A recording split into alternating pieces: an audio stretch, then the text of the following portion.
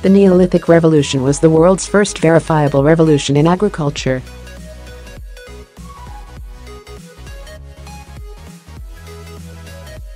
It began in Britain between about 5000 BC and 4500 BC, but spread across Europe from origins in Syria and Iraq between about 11,000 BC and 9000 BC.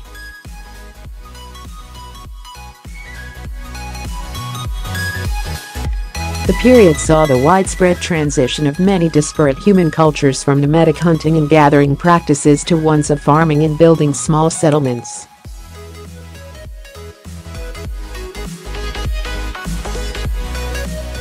The revolution was responsible for turning small groups of travelers into settled communities who built villages and towns.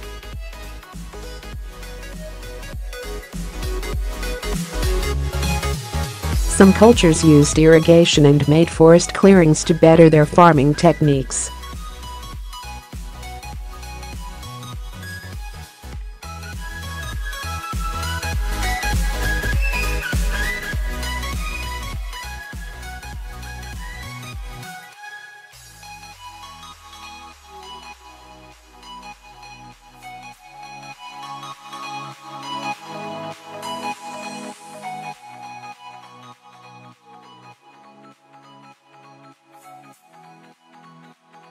Today, prehistoric monuments in the UK span from the time of the Neolithic farmers to the invasion of the Romans in AD 43.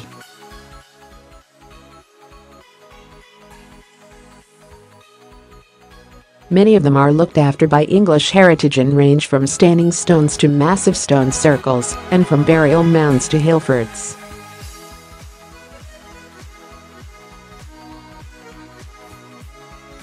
Stonehenge, the most famous prehistoric structure in Europe, possibly the world, was built by Neolithic people and later finished during the Bronze Age.